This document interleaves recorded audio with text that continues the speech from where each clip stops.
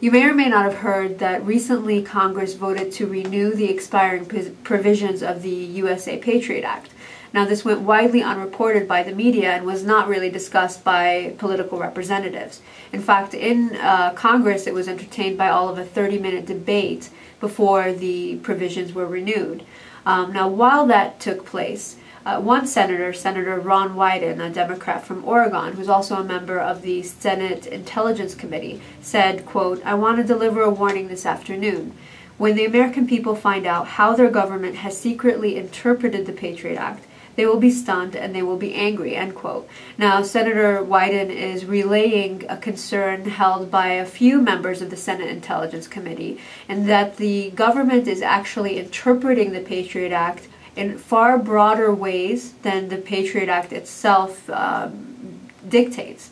And the Patriot Act itself, as I'm going to go into, is already broad in and of itself. Now, what is the big deal about the Patriot Act? Um, well, there are a few provisions that were recently renewed that are the centers of the problem. Um, first is Section 215, and Section 215 says that, or allows the government to obtain any tangible evidence relevant to a terrorism investigation, even if there's no showing that the thing is actually related to the subject of the investigation, um, of the terrorist or the terrorist activities, in other words.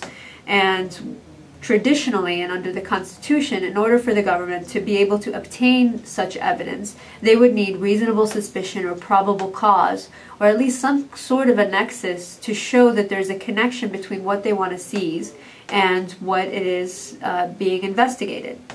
Another provision of the Patriot Act is Section 206, and this is also known as the Roving John Doe Wiretap provision, which allows the government to get intelligence surveillance orders on anybody or anything without having to specify the person or the thing that they want to survey. Now, again, under the Constitution, uh, they're usually required that to state with particularity what they seek to survey, whether it's a person or a property or a place. Um, they're usually supposed to specify that. Under the Patriot Act, they don't have to.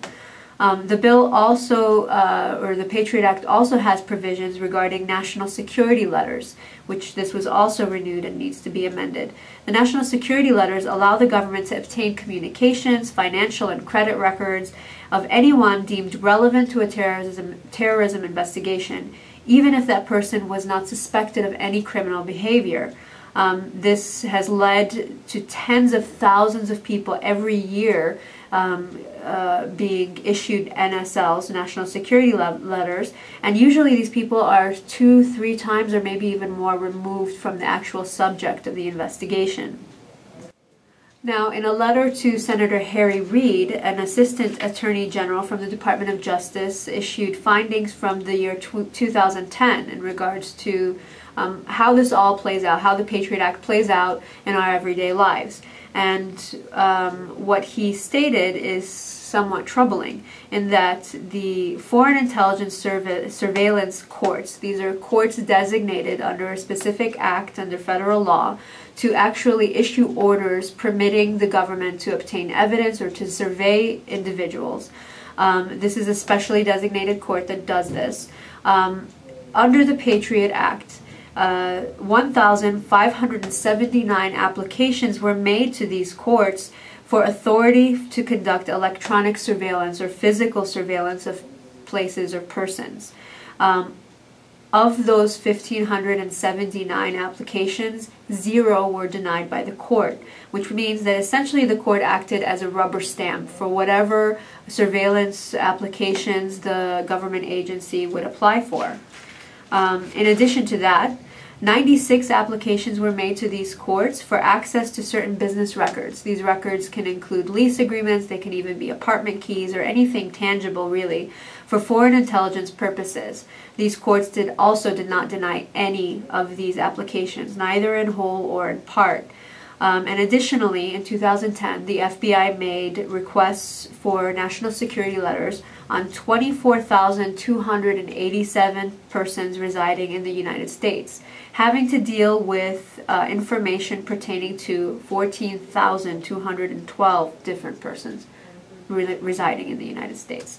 So all of this is very troubling in that Congress chose to reenact these provisions once again for another four years. We're stuck with them. Now, what can we do about it?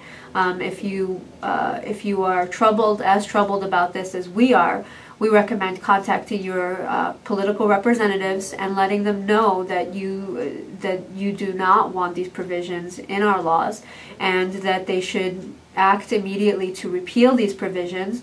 Um, otherwise, we're stuck with them for at least the next four years. So that's it for today. Stay tuned for next week where we'll be discussing another civil rights issue.